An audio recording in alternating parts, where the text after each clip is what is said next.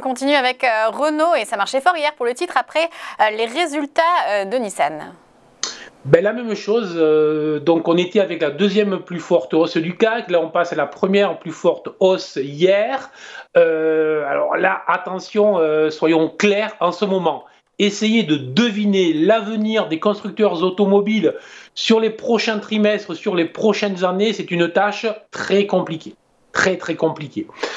Alors, euh, sur le plan technique, en plus, on est sur une action, euh, un des seuls constructeurs automobiles qui est en baisse, qui est à la traîne, alors que la plupart ont rebondi, ont très fortement rebondi.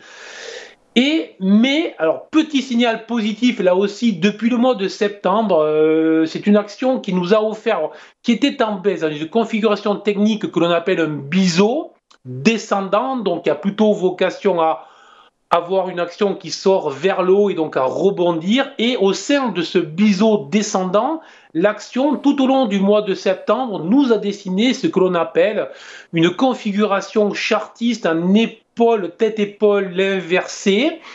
Euh, elle en est sortie euh, par le haut début octobre. Elle a fait ensuite un pullback. On est rentré, nous, à l'achat 31,50 euros avec un stop à 29 euros et la valeur est à nouveau en train de rebondir. Effectivement, Nissan Motor, dont son partenaire a hier annoncé qu'elle contribuerait pour 157 millions à son résultat net sur le trimestre et donc les investisseurs ont pris ça comme une excellente nouvelle. Alors, plutôt positif sur la valeur tant qu'elle se situera au-delà des 31 euros avec un objectif sur les 36 euros, 36,20 euros pour les prochaines semaines, donc un objectif assez rapide.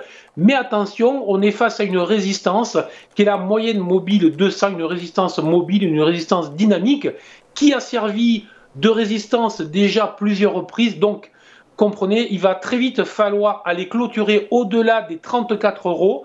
Bon, très vite, je dirais, euh, dès cette semaine, pour espérer voir les 36,20 euros dans les prochaines semaines.